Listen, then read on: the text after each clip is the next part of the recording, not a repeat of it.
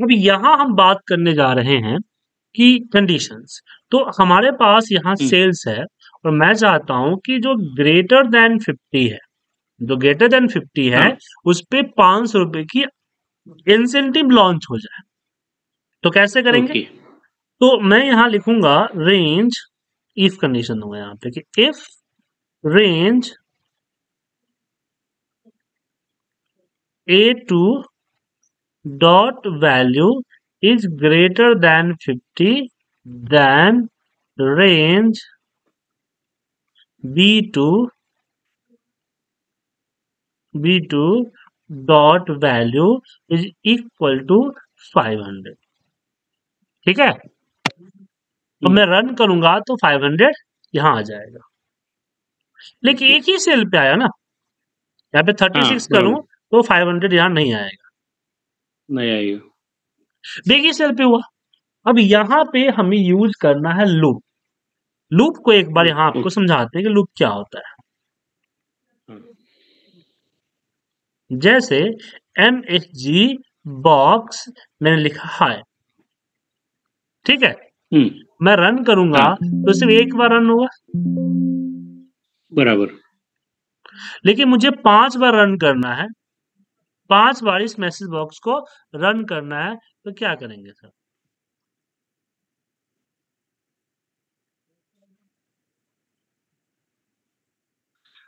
For loop हाँ यहाँ पे हम फॉर लूप लगाएँगे। पाँच ओके बार कोड ना लिख के हम यहाँ क्या करेंगे? फोर फॉर लूप यूज़ कर। लगाएँगे। हम देंगे कि for I equal to one to five. और नेक्स्ट अब मैं इसको रन करूँगा तो आप देखेंगे कि ये पाँच बार जो है हमारा हाई का हम्म। मैसेज आएगा। ठीक है?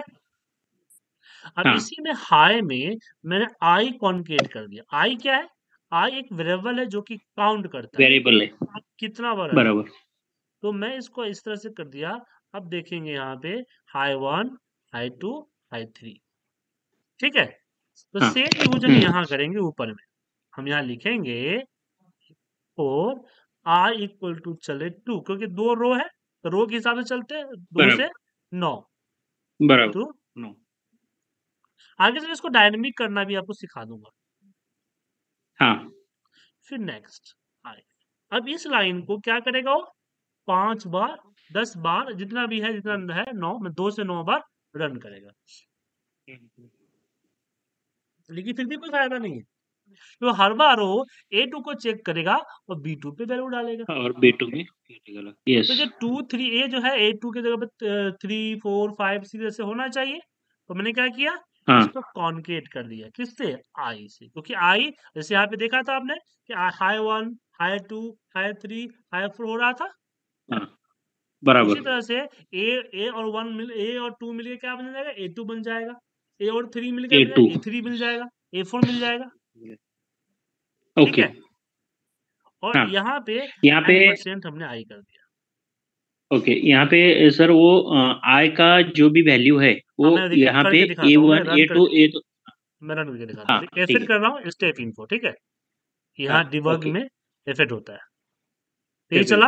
अब इससे आय क्या है? ज़ीरो है। ज़ीरो है ना? ज़ीरो है। हाँ। अब हुआ आई क्या हो गया? टू हो गया क्योंकि टू से चलेगा। टू हो अब ए और टू मिलकर हाँ। क्या बन जाएगा sir A two A two और बी और टू मिलकर क्या बन जाएगा? B two B two yes तो इसने चेक किया मिला इसे नहीं मिला तो बाहर निकल गया। फिर वापस आई इस बार क्या हो गया? आई टू हो गया थ्री हो गया। हाँ।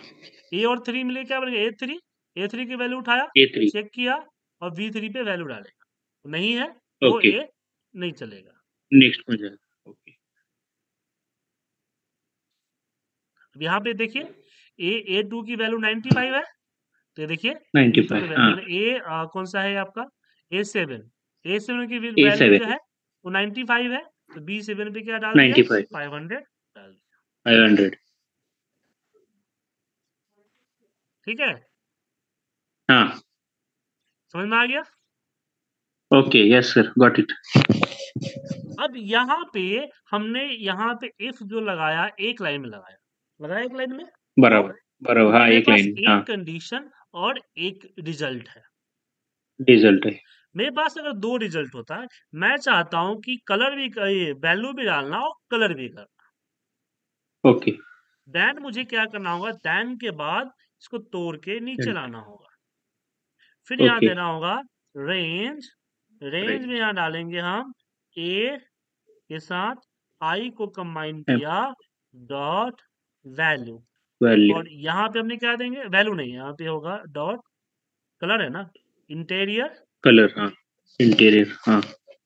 Dot colour colour equal to VV red green blue श्याम magenta। ओके और जब हम तोड़ के नीचे लाएँगे तो हमें एंड इफ़ देना पड़ेगा। क्या देना पड़ेगा? ओके ईव का एंड इफ़ ओके यस क्योंकि इफ़ को क्लोज करना पड़ेगा ना इसलिए एंड इफ़ क्लोज करना पड़ेगा हाँ बराबर। हम इसको रन करते हैं एक मिनट आर नाम के दो एक ही होना चाहिए? हम्म। और इसको रन कर दिया। हो गया? ओके। क्लियर है हाँ? अब इससे मैं। चाहता हूँ कि अगर ग्रेटर देन 50 हुआ तो 500 otherwise five hundred 100 one hundred तो यहाँ पे भी हम एल्स देना है। क्या देना है हमें सर? एल्स देना है। तो कंडीशन okay. इस पे हम देते हैं।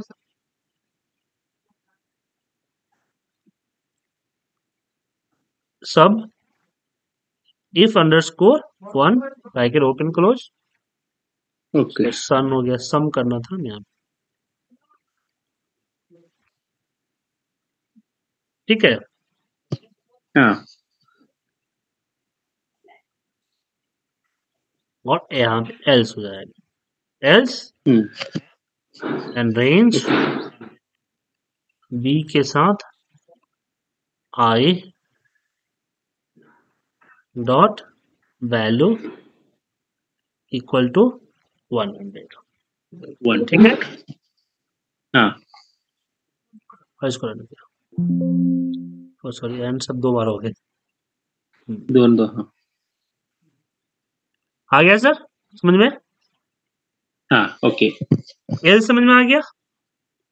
आ गया एल्स तो यहाँ पे तुम्हें सम, समझिए बढ़िया से क्या है कि अगर आपके पास एक कंडीशन और एक रिज़ल्ट हो एक लाइन में लिख देंगे एंड इफ़ करने की ज़रूरत नहीं है। नहीं। दूसरा जब मेरे पास कई सारे एक मतलब एक कंडीशन चेक करने के बाद कई सारे इवेंट करना है तो क्या करना होगा? हम्म। हमें? यहाँ पे ईप ईप देना पड़ेगा के साथ जोड़ के हम एक लाइन में लाइन यहाँ पे अपने हिसाब से लिख दे कोई हम्म। लिमिटेशन नहीं है कितना लाइन होना चाहिए। आप लिमिटेशन अपने हिसाब से लाइन दे हाँ। सकते हैं और बाद में एंड इफ़ एल्स नहीं है तो एस डालने की ज़रूरत नहीं है। नहीं। और तीसरा यहाँ पे क्या है कि मैंने यहाँ पे इफ़ लगाया एल्स लगाया। तो इसमें आप ओके यहाँ भी कई सारे लाइन लिख सकते हैं। जैसे यहाँ एल्स में इसमें ट्रू पार्ट में ए आ गया। इफ़ का ट्रू पार्ट यहाँ पे जितना मर्ज़ी उतना लाइन लिख दीजिए ये हो जाएगा आपका फॉल्स पार्ट इसके यहाँ जितना मर्ज़ी उतना लाइन लिख सकते हैं। लिख सकते हैं ओके। क्लियर है? विदाउट इसमें? नो नो नो सर ये था इफ़ का इनिशियल फ़ेज़ राइट जहाँ आपने सीखा ओके कि हम इफ़ अप्लाई कैसे करते हैं मल्टीपल कंडीशन कैसे देते हैं एंड इफ़ और एल्स ओके। में क्या प्रॉब्लम क्या डिफरेंस है और कब यू यूज़ होता है? समझ में आ गया? ओके समझ में आ गए अब दूसरा पार्ट होता है कि अगर मेरे पास मोर देन वन कंडीशन इसमें तो एक ही कंडीशन आप चूज़ कर रहे हैं ना आप सर एक हाँ एक हाँ एक ही कई सारे रिज़ल्ट कई सारे रिजल्ट्स लेकिन मेरे पास कई सारे कंडीशंस और एक रिज़ल्ट या कई सारे रिजल्ट्स के लिए कंडीशंस के लिए अलग अलग रिज़ल्ट हाँ। तो वो सब चीज़ें बात करेंगे लेकिन इनिशियल फ़ेज़ को एक बार प्रैक्टिस कर लीजिए उसके बाद। ओके। ठीक है? हाँ।